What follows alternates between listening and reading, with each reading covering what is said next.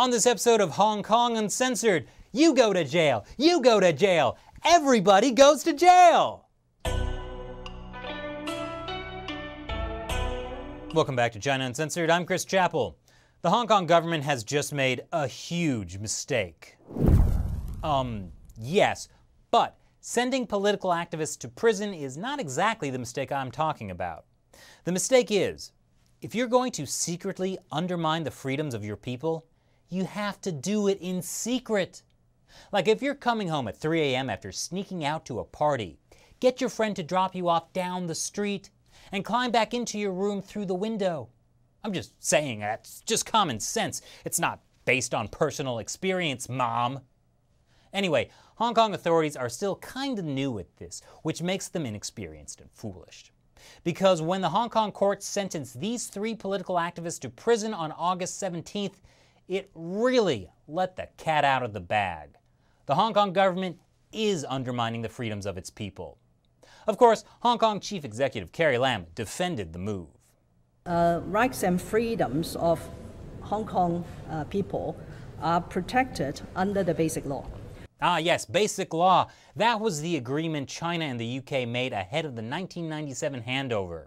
Under the One Country, Two Systems principle, the Basic Law guarantees Hong Kong a variety of rights and freedoms, even rights and freedoms denied to people in the rest of China. Anyway, go on, Miss Lam.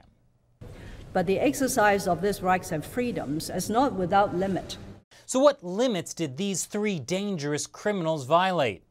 Well, Joshua Wong, Nathan Law, and Alex Chow were influential leaders of the 2014 Umbrella Movement. The 2014 protests, known as the Umbrella Movement, were triggered after Wong and his colleagues stormed the city's government headquarters.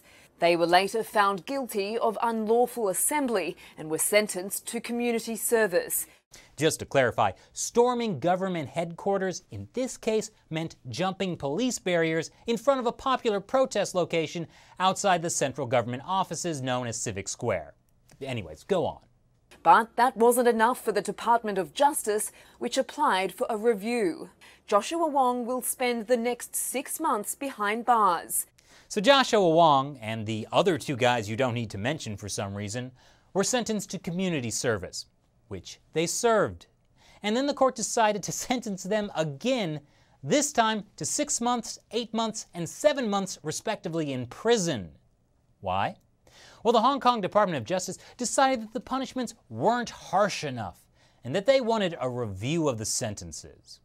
Of course, Hong Kong Chief Executive Carrie Lam will assure you Beijing had nothing to do with the decision. Uh, our courts are exercising judicial powers independently, free from any interference. So any allegation that in these particular cases that uh, judges in the Court of Appeal have made decisions Uh, under political in interference, again, are totally unfounded. That's like when you sneak out at night and then try to convince your parents the next day that the lump in your bed last night was you all along and totally not the pillows from the guest room. What's interesting here is that Lam defends the judges as being politically unbiased. But there are signs that the Justice Department itself wasn't unbiased when deciding to review the sentences. For one, it's highly unusual for them to review the sentences in the first place. There are reports that Secretary of Justice Rimsky Yuen overrode his own prosecutors in order to get those harsher sentences, even though his prosecutors didn't want to do it. Interestingly, Rimsky Yuen is also a member of the Chinese People's Political Consultative Conference, the terribly named rubber stamp advisory body to China's rubber stamp legislature. Being in the CPPCC is a marker of status and influence and you can get kicked out for not toeing the party line.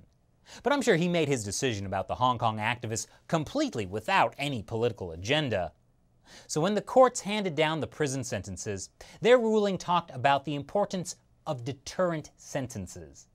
That is, by severely punishing these three people, they would make Hong Kongers not want to protest, sorry, I mean unlawfully assemble in the future, which worked incredibly well. In fact, the sentencing reinvigorated the movement for rights and freedoms in Hong Kong, with over 20,000 people taking to the streets. there's more uproar over this than for other recent events that eroded Hong Kong's freedoms, like allowing Chinese police to patrol in Hong Kong, or saying the joint declaration Hong Kong Basic Law is founded on no longer has meaning, or kicking out democratically elected pro democracy lawmakers again. As you can see, the Chinese Communist Party's influence over Hong Kong has been getting really blatant lately. So the question is, why? This carries serious risks for the CCP. It clearly shows that the one country, two systems policy that the CCP promised the UK is being thrown out the window.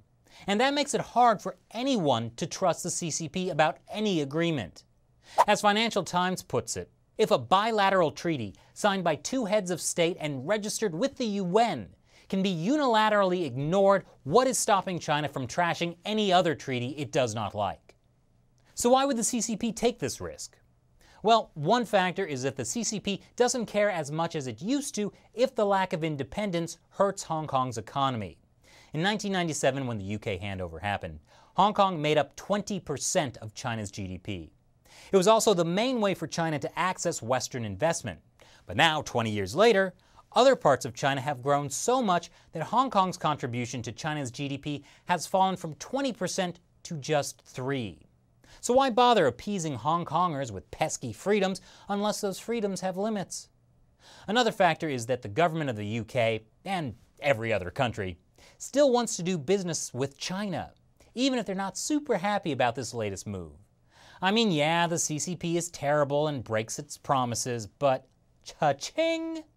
So put on that awkward smile and move on. And here's another factor. After the 2014 umbrella movement was over, many of the young people who participated in the protests tried to continue to change the system from within. For example, Joshua Wong and Nathan Law founded a political party so they could officially join Hong Kong's democratic process. Nathan Law even won a seat in the legislature last year, along with many other new pro democracy lawmakers. Unfortunately, Law was kicked out last month for adding a Gandhi quote while taking his oath of office. That's another topic. But now that they've been sentenced to prison, they're disqualified from running for office for the next five years. So the Hong Kong government is effectively shutting them out of the political process. I think that's one of the main reasons the Hong Kong government did it by disqualifying and shutting out pro democracy legislators. The pro Beijing government is more likely to be able to pass laws the CCP wants. Laws that got shot down in the past, like the Patriotic Education Law or Article 23, that anti subversion law that would let police search people's homes without a warrant. But here's the thing this move is extremely stupid. What happens when you force people to operate outside the system? When you show them that protesting is the only way to prevent the government from stomping all over your rights in order to appease the Communist Party. You get this 20,000 angry people protesting. And we're going to see a lot more protests in the future because the Hong Kong government's decision tells the people one thing clearly. Civil disobedience is now the only way to make effective political change in Hong Kong. Now, as for Joshua Wong, Nathan Law, and Alex Chow, They've already started their prison sentences, although the lawyers say they will appeal. Hopefully, prison won't harden them too much. Joshua has already shaved his head and talked about taking graphic design classes. Good luck, kid. Now, I personally admire these guys, and for viewers who feel the same, why don't you head over to Twitter and send them some words of support from the China Uncensored 50 Cent Army? Their Twitter handles are in the description below, and their accounts are being managed by friends while they're in prison. Don't forget to tag at China Uncensored so I can see your tweets as well. And as always, let me know what you think in the comments below. And coming up after the break, if only getting political prisoners out of China were as easy as getting money out. When I was in Hong Kong last December, I was lucky enough to sit down with Joshua Wong for an interview. We talked about his plans for the future of Hong Kong, and we even sang a song of angry men from my favorite musical, Les Mis. Of course, this is before I realized Joshua Wong was a dangerous criminal. So click here on the left to watch that interview now.